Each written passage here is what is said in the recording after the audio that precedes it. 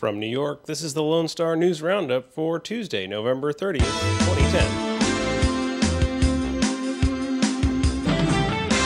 Russia announced last week its intent to build an orbital street sweeper to clean up the debris strewn space near Earth. Decades of space operations have littered our skies with dead satellites and scraps of space junk. The persistent dangers of orbital collisions and uncontrolled re entries could be mitigated by the projected 15 year mission designated to be working by 2023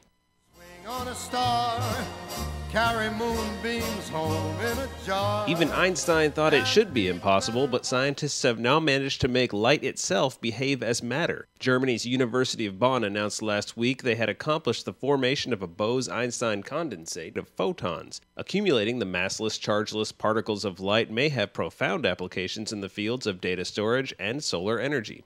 Electronic ink is the paper saving technology behind the latest digital signage and e readers like Amazon's Kindle device. Now, University of Cincinnati engineers have put e ink back on paper. Their demonstrated electrowetting process may one day produce flexible displays that can simply be thrown away. Perhaps missing the point of a paperless future, but cool technology nonetheless.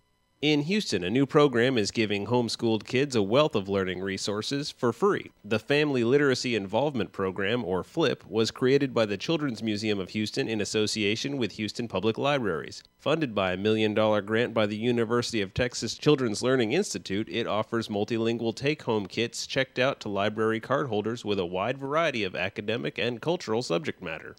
And in good news, The rumors are heating up.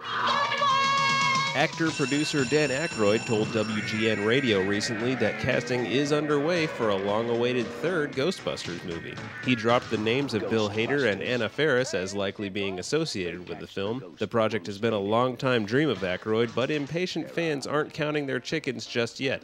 The production is currently speculated to begin in 2011.